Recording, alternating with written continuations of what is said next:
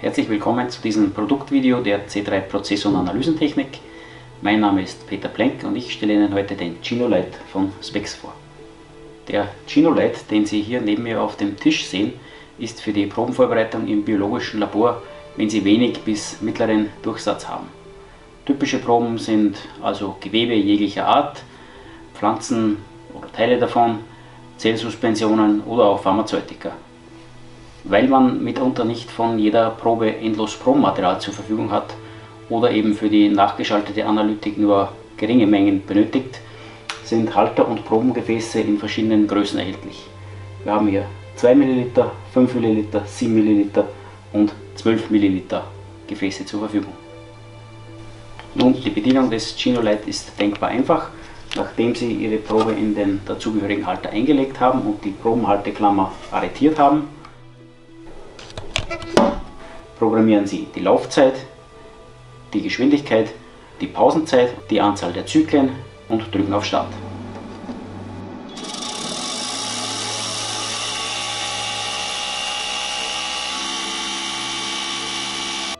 Nach dem Malvorgang öffnen Sie die Probenhalteklammer und können sofort mit den Proben weiterarbeiten.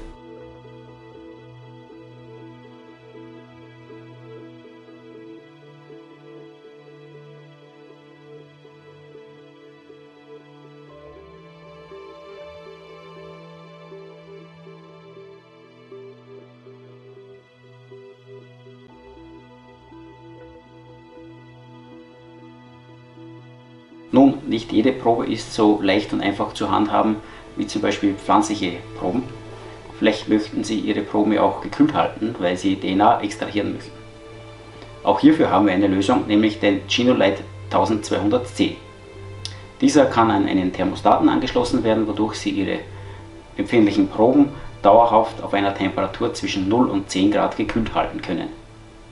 Sollten Sie in Ihrem Labor deutlich mehr Durchsatz haben, als wie mit dem Gino-Lite zu bewältigen ist.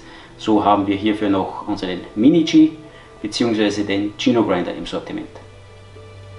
Wie Sie sehen, ein kleines Gerät, das viel kann und auf jedem Laborarbeitstisch Platz findet. Sollten Sie noch Fragen zum Gerät haben, dann rufen Sie uns einfach an.